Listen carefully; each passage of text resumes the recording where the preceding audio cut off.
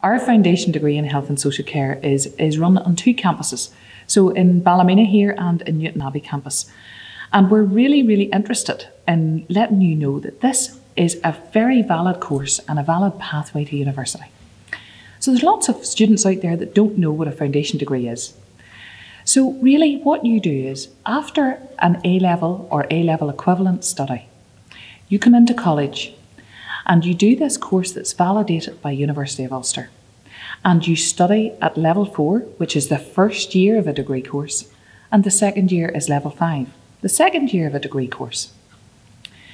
So the course is very useful to you if you feel you want to progress to a pathway like nursing or social work or occupational therapy, teaching, law. We've had students go to all of these programs.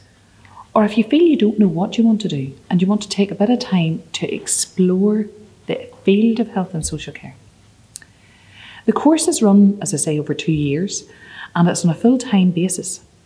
And in the second year of your course, you have the opportunity to go on work placement for 240 hours.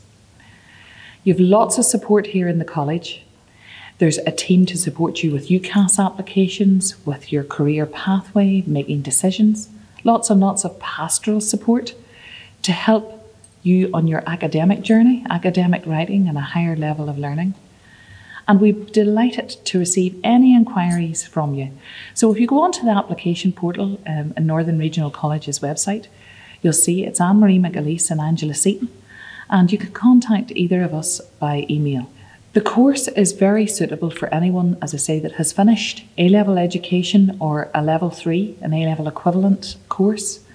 Um, so you apply, and the entry requirements are 48 UCAS points. It's also a great course for anyone returning to education. So, someone perhaps that has taken time out of education and feels that they want to explore the field of health and social care uh, to move onto a career pathway. There's lots of subject content that explores health and social care in general. Professional practice, ethics and values, psychology, sociology, physiological disorders. And the content is supported by tutors who have vocational experience, which means that most tutors have worked in their subject area, so they bring enriching content to help inspire you on your career pathway.